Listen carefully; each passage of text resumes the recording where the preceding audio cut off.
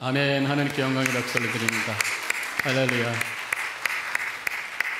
네, 오늘 또 특별히 우리 youth group 오케스트라 string 앙상블도 수고했는데 성가대와 더불어 우리 youth group 앙상블 박수 한번 해주시기 바랍니다. 감사합니다.